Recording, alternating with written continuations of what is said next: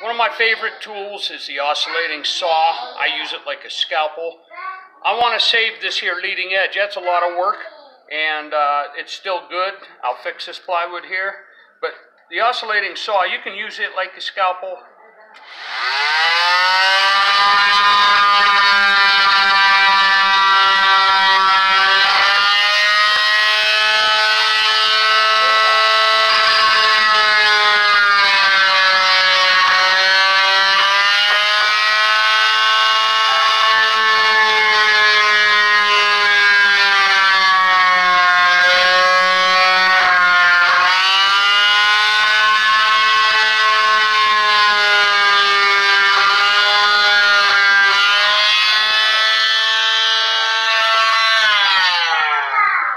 Nice and smooth.